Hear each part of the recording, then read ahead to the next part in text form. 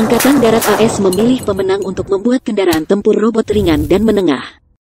Celebesmagazine.com Sebuah tim dari Textron, Howe dan Howe dan FLIR Systems meluncurkan kendaraan tempur robotik Ripsaw M5 di acara tahunan Asosiasi Angkatan Darat AS pada Oktober tahun 2019 lalu.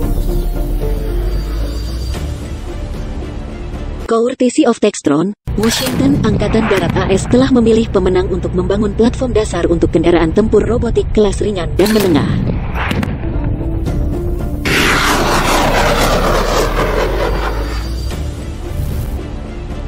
Menurut pernyataan dinas yang dirilis tanggal 9 Januari, Komando Pengembangan Kemampuan Tempur Angkatan Darat dan Tim Lintas Fungsi Kendaraan Tempur Generasi Berikutnya bermaksud menunggu negosiasi yang berhasil untuk memberikan kontrak kepada Kinet. Amerika Utara untuk membangun empat prototipe ringan RCV dan kontrak lain kepada Textron untuk membangun empat RC prototipe menengah.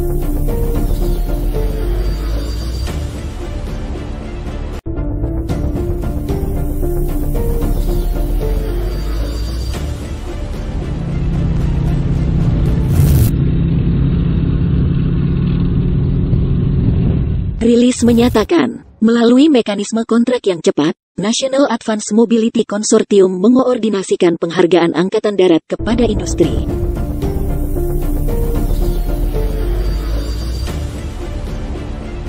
Dan layanan tersebut diharapkan secara resmi di bawah kontrak dengan kedua perusahaan pada pertengahan Februari, menurut pernyataan itu. Sementara itu diantisipasi Angkatan Darat akan memberikan hingga dua kontrak per kategori pada akhir kuartal kedua tahun fiskal ini.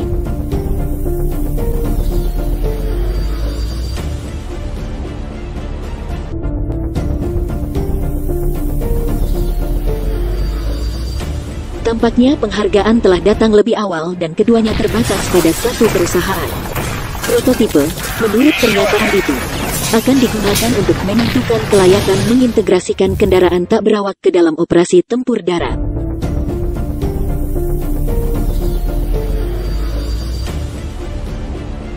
RCV ringan dan menengah akan digunakan untuk melakukan eksperimen tingkat perusahaan pada akhir 2021. Hasil dari upaya itu, serta eksperimen tingkat peleton pada Maret tahun 2020 dan beberapa eksperimen virtual, akan membantu Angkatan Darat memutuskan pada 2023 bagaimana mereka ingin melanjutkan robot di medan perang.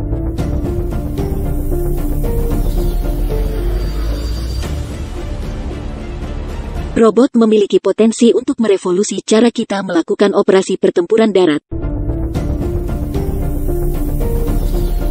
Jenderal Ross Direktur NGCV CFT, mengatakan dalam pernyataan itu. Apakah itu memberikan peningkatan daya tembak untuk patroli yang turun, melanggar posisi pertempuran musuh, atau memberikan pengintaian, kimia, biologi, radiologi, nuklir dan bahan peledak?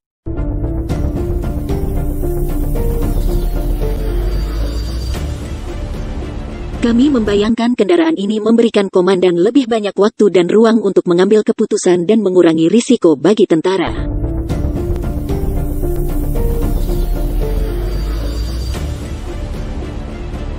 Tim Textron dan Howe dan Howe, tim dari Kinetic Amerika Utara dan Pratt dan Miller. Dan Oskos masing-masing dikeluarkan permintaan untuk proposal prototipe dalam kompetisi ringan RCV pada Oktober tahun 2019.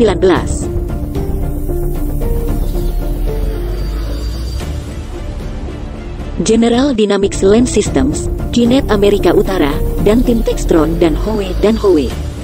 Patut dicatat bahwa perusahaan yang dipilih untuk membuat prototipe di setiap kategori adalah satu-satunya dua perusahaan yang memiliki penawaran di kompetisi ringan dan menengah. Yang menunjukkan potensi bahwa mereka adalah satu-satunya perusahaan dengan fleksibilitas untuk membangun di kedua kategori.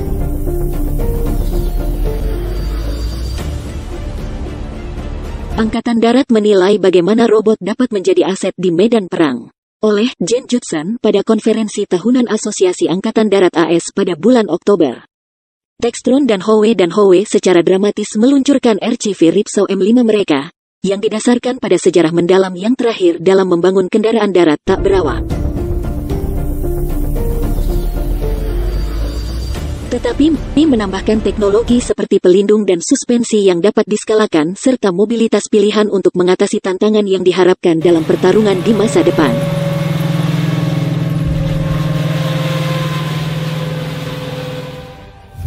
Sistem FLIR juga merupakan bagian dari tim yang menyumbangkan sensor canggihnya. Menyatukan Howe dan Howe. Textron Systems dan FLIR Systems benar-benar mewakili tim impian, kata CEO Textron Lisa Atherton dalam sebuah pernyataan yang dirilis di acara tersebut. Kami membentuk tim ini berdasarkan fokus bersama kami untuk melayani pelanggan ini dengan ide-ide yang mengganggu dan pengalaman yang telah terbukti. Dan kami berdedikasi untuk memenuhi dan melampaui persyaratan mereka melalui program RCV.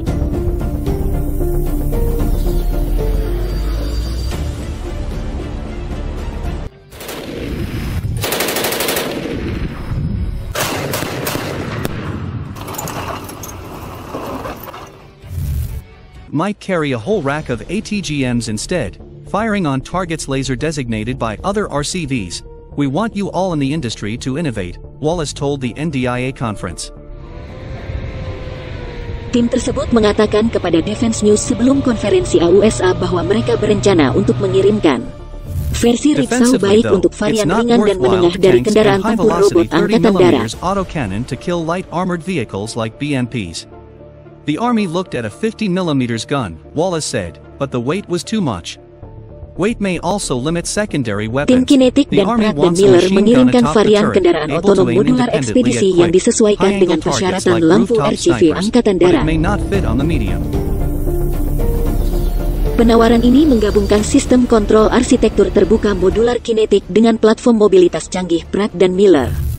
Angkatan Darat juga sedang memeriksa utilitas varian berat RCV tetapi menggunakan pengangkut personel.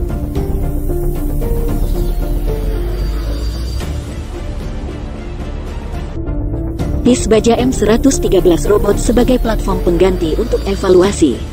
Upaya itu akan fokus pada kerjasama tanpa awak dalam formasi robot wingman.